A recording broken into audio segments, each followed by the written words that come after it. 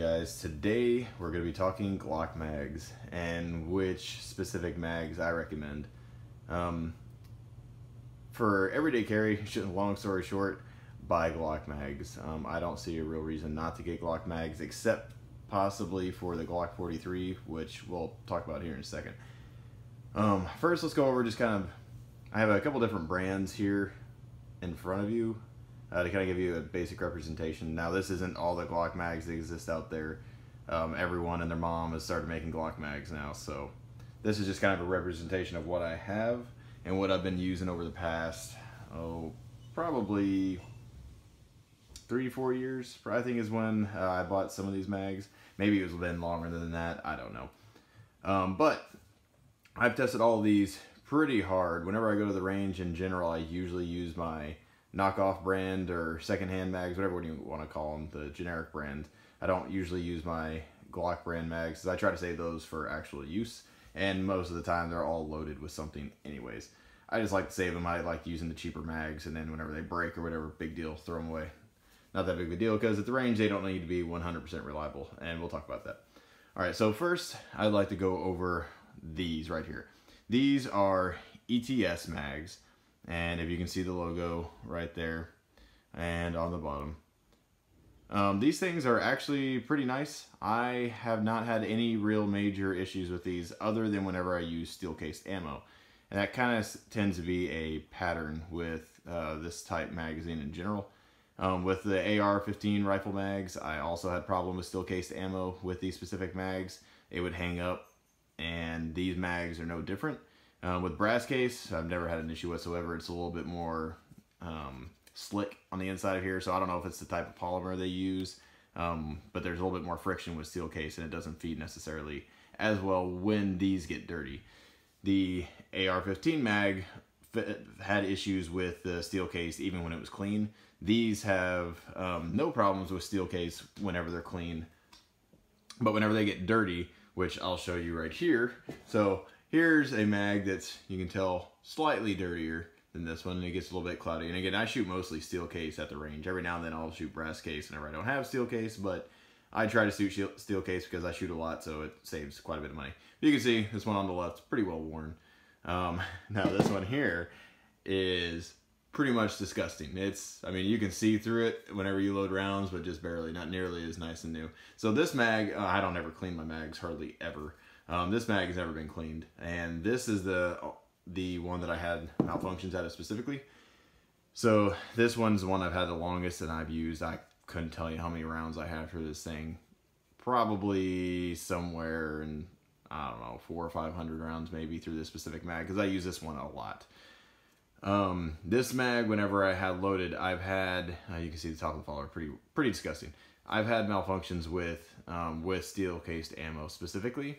Um, I still haven't had, even when it's dirty like this, I still haven't had any issues with it feeding brass. So now granted, the malfunctions with the steel case are rare and far between, uh, few between, whatever the phrase is. But I've had quite a few malfunctions with um, the steel case. I would say probably, I don't know, maybe once per every three or four times whenever I load this thing up, I'll have a malfunction with steel. It's usually one tap rack and it's done, doesn't have an issue with the rest of the magazine. But that's just something to be, uh, I guess, aware of. So if you buy these, uh, you want to clean them every so often just to make sure they don't get a whole bunch of gunk on the inside. Because like I said, whenever it's perfectly clean, uh, I don't have a problem whatsoever with steel case. It's just whenever they get dirty like this. And obviously you can tell that's pretty well disgusting. You can barely even see through it anymore. So that's just something to kind of note. Um, I, other than that aspect, like if you only shoot brass case for whatever reason, um, these things are great. I've never had a problem with them. And so these are probably one of my favorite ones to use at the range specifically because it's easy to see how many rounds you have left. You don't have to try to count, you know, the holes on the back like you would with this one. And these sometimes as the spring wears, um, you can't exactly see where the round is. You're like, eh, is that 14 or 15? I can't tell. And you try to shove another round in. It's like, okay, I guess it's full. But so the ETS, there's no guessing. So that's pretty nice. I like these for that aspect. Um, I wouldn't suggest these for a full-size gun. They're full-size mags for carry because you don't really get any added round count like you do, and I'll get over that in a second with the Glock 43. Um, so ETS mags for range mags, absolutely. For carry, uh, I wouldn't do it. Just know that you're gonna have to clean them every so often. So that's those. Um, obviously, this is a Glock mag. You can see on the bottom. This is Gen 5. Um, you can see because it's got the little added lip right there. Uh, this is a Glock 19 mag. Um, obviously, Glock mags are, in my opinion, the way to go when it comes to a carry gun. You can see you got I have my HST rounds in there.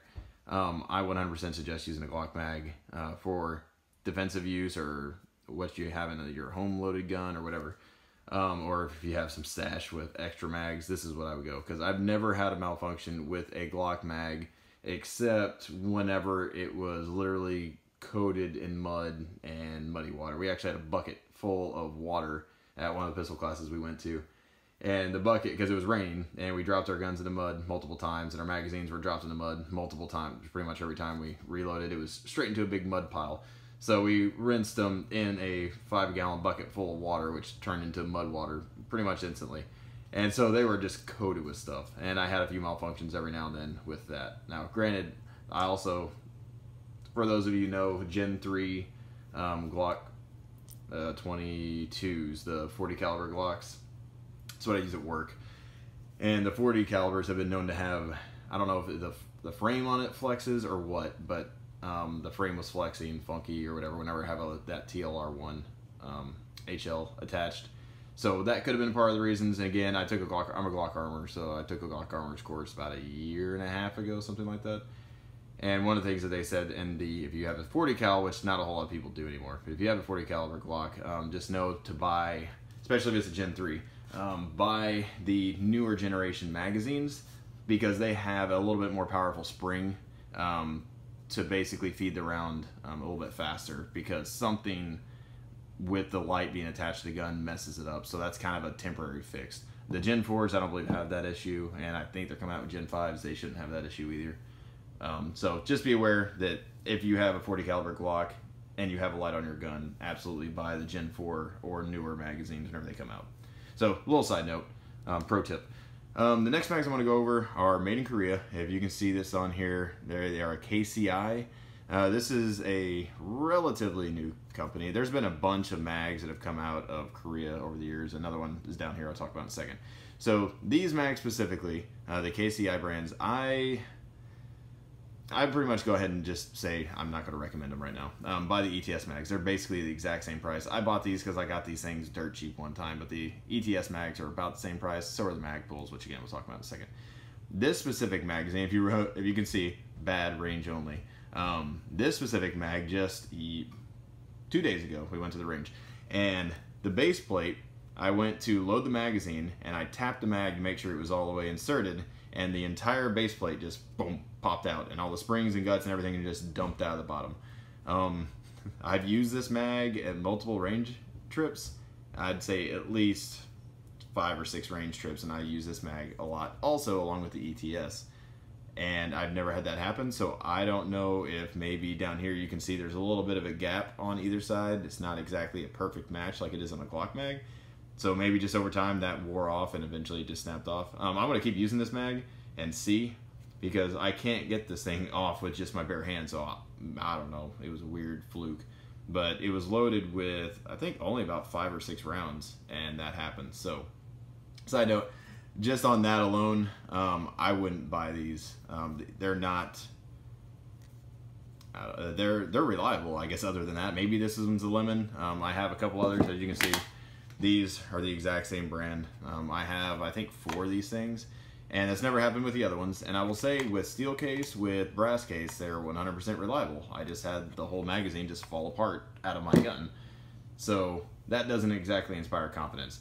Now, maybe, you know, you buy a bunch of these and I just got the one lemon out of a thousand. I don't know. But um, for the same price, you can buy these ETS mags, and I would I've never had that issue whatsoever with these. And one nice thing about the ETS mags is, if you can see on here, eh, there's mud. Um, but they have these little lips kind of on the edge so it makes it and pulling out a mag. So if you practice doing like a double feed, um, you're going to have to strip out the mag, which means you need a little bit more purchase. And these have a little bit more purchase down here, so that's kind of nice. Um, a little added touch.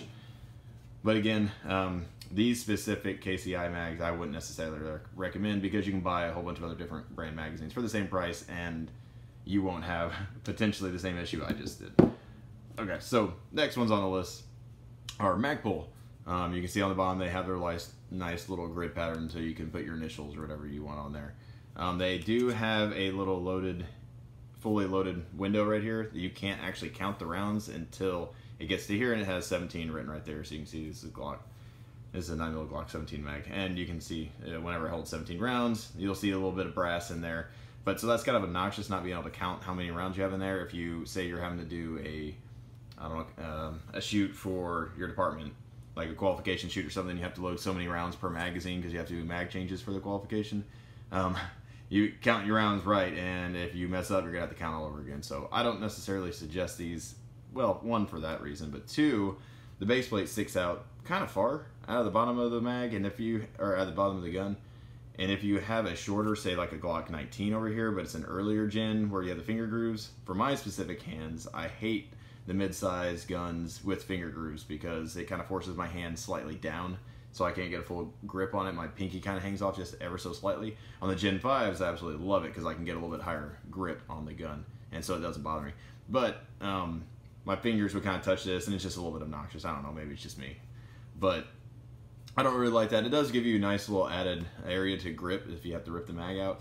Um, one thing that's kind of weird about these, um, the very first round you load, and you can see it's got a uh, kind of a little, if you can see down in there how there's little grooves on the other side um, right here, if you can see that, there's a little bit of material where this goes into, and it's so the follower doesn't tilt either direction. So that's good. The follower doesn't tilt, but that makes it kind of loading the first round kind of obnoxious. You have to put it in just right and get it in. Once you get that one loaded, the rest go in just fine. But I don't know, that annoys me for some reason. I don't, I don't see why they couldn't make it where it loads a little bit smoother.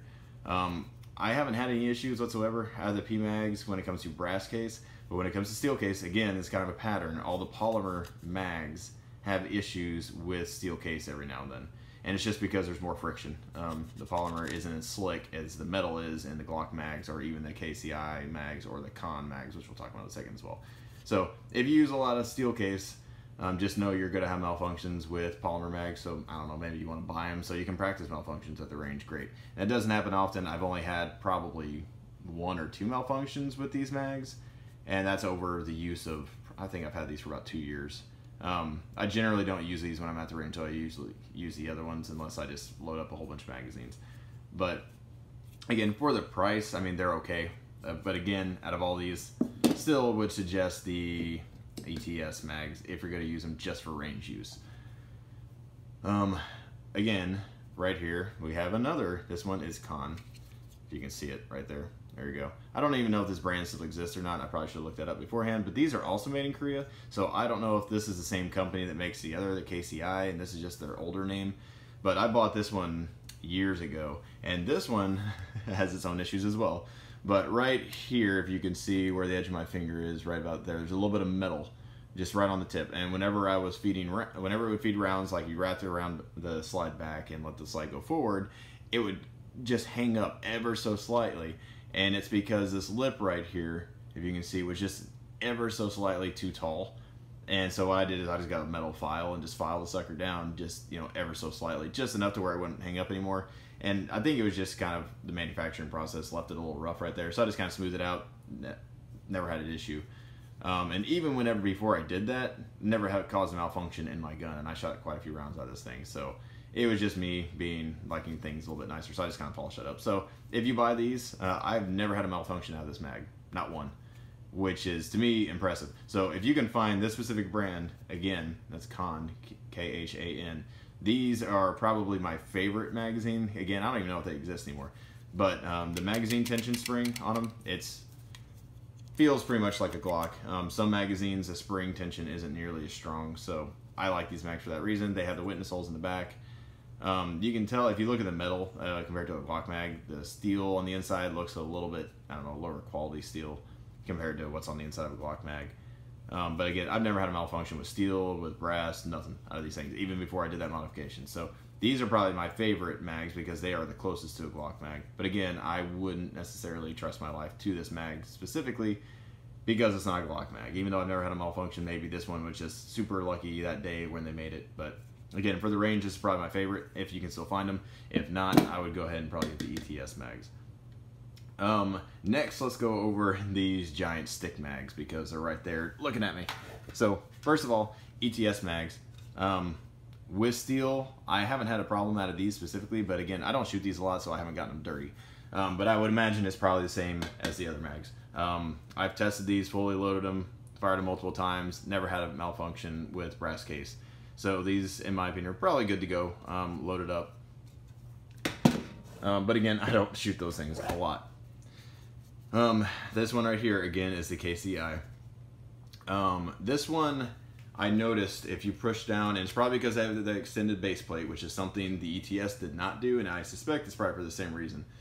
Um, since it has this extended base plate on the bottom, which lets you uh, put more rounds in, this spring is way easier to push in. Um, so over time, I would imagine that spring would probably get worn out faster than it would with the Glock mag. Um, again, I've used this a couple different times. I haven't had a malfunction, fully loaded, didn't have an issue. And then whenever it got to the top, the last few rounds, which generally is when a worn out spring is going to cause malfunctions, um, it didn't have any problems in either. So for just kind of uh, buy cheap, stack them deep, you know, for uh, election season or whatever, I'd say these are probably good to go. You know, turn around, sell them for more if you want later. But these are nice to have around. Um, I like these pretty well. But again, I think the magazine spring will probably wear out faster than others. Now, I will say that is kind of true for these as well. Um, these, the smaller ones, don't have nearly the same, uh, they're a little bit tougher. Like they're closer to the Glock mags. I would say they're almost identical, but they're just ever so slightly softer. So just take that for what it's worth. The larger one. So if you put like an extended base plate on these, they would feel they probably would um, not be reliable um, compared to without. And again, so you could replace the spring, I guess, with the Glock spring if it ever wore out, but it does feel like the spring is weaker. Um, last but not least is the actual Glock brand. Um, it's Glock, they don't malfunction. I've never had an issue out of these. Um, so you can see the spring tension on this is significantly more, even with the, uh, the plus two plate on the bottom. So that's nice. I've never had a malfunction out of these. I don't use these all that often, but again, never had a malfunction. Um, last, we'll cover, and these are all the Glocks I have, so I'm sure there's other models and magazines out there, but I don't own them. Um, for the Glock 43, I really like these ETS mags um, for the longer version. The shorter ones, I mean, as you can see, I use these. I just kind of keep them, throw them around in my uh, in my truck, in my armrest or glove compartment or whatever, just to have spare mags in the truck in case I'm going somewhere and I want spare mags. I'm carrying that. Most of the time, I carry Glock 19, but sometimes I carry Glock 43. Um, these are actually advertised as seven round magazines, and your standard Glock mag uh, for the 43 is only six round mag. You can see on the back. Now on this one, there is a little bit of extra space, so you'd think you could add an extra round, but it's just about half a bolt is all you can get in there. It won't go all the way down. Now the nice thing about this, and I'll, I'll show you this because, so on here, and it's empty, you can see. Uh, yes, the magazine has rounds in it, so safety Nazis out there. Um, but whenever you put the round in, it clicks in, it locks in pretty easily. It ejects easily, so you can see that. So that's nice. Now, whenever you have uh, just six loaded in this mag, again, it goes in, clicks in, pops out just fine. So not an issue. Um, they're advertised as seven rounders, and now again, this is with steel, so maybe this cheating a little bit. But with uh, fully loaded, or fully loaded with seven rounds, as advertised, whenever you try to put it in on the on when the slide is closed, I'm pushing on that thing. I can barely get that thing in there. It will lock in place, but one thing I'll notice is if you try to pull back, it kind of locks up the gun. I mean, I can get it to go back if I want, but that is really hard to do. And I will show you on here. I don't know if you can pick it up or not, but there is a scuff or a scratch kind of on the top of that steel. Maybe you can see it. But it actually put a little kind of dent in that casing. So that to me is kind of a no-go. Um, I personally wouldn't trust it at that point. So at least fully loaded like that. So if you keep, if you if you're reloading from say a slide lock or something, I mean that wouldn't be an issue. But if you have one in the chamber and you're trying to change out magazines for whatever reason, like you're gonna have a hard day getting that thing in there, and it very well could cause malfunction because that's a lot of friction that that slide is gonna have to fight. So personally, when it comes to me, I would not load these things to seven rounds. Load them to six, call it a day. Um, again, I've never had a malfunction out of these at all, even with steel case. So I would say for the 43, these are an excellent option. Um, now for duty use, again, I would suggest Glock mags all day long. This one is not an extended, it's just a little pinky extension. So small little side note: if you're gonna get this with a pinky extension, just take the pinky extension off there and put a plus one base plate on there. It's gonna be the exact same length, and maybe even a plus two extension on there because it's dumb to have that extra space just for pinky when you can add rounds to that. So, little side note: I don't know why Glock added this. They should have just put a base plate on the end, added a round or two. But anyways, side note: if you want a magazine that carries a lot of extra rounds for the 43, this ETS mag is excellent. So as you can tell in here, it's supposed to hold 12 rounds. I have 11 in here. I believe 3, 6, 9, 12, yeah. Okay, so I have 11 rounds in here.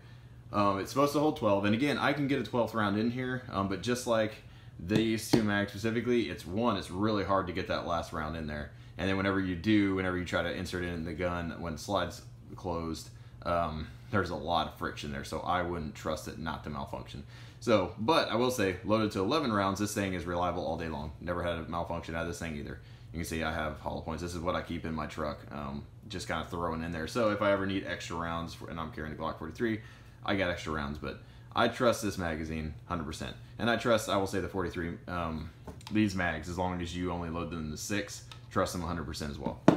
So these are kind of nice to have if you want some extra firepower, throw an extra mag in your pocket, or wherever if you wouldn't just want to have some extra rounds in case you're carrying a rounds limited gun like the 43. So I absolutely love the fact that ETS makes these larger mags. I think they make, this is the largest one they make, I believe. I think they make one that's kind of in between the two sizes, but go big or go home. If you're going to carry spare mag, carry a big one. Um, if you have any questions about any of this, um, feel free to ask below. Um, I have a lot of experience on all these mags. The big giant fun sticks over there I don't use nearly as often, so I have less experience with those. But again, I've never had a malfunction out of any of those. They work with brass and they work with steel. But again, just know that with steel, this will probably malfunction whenever it starts getting dirty. So again, just kind of take that for what it's worth. Is just my experience. No expert by any means in anything. Um, but again, if you like this kind of content, uh, give us a like and subscribe and comment below if you have any questions or you just want to compliment or have a good discussion. But all right, appreciate y'all. Have a good one, guys.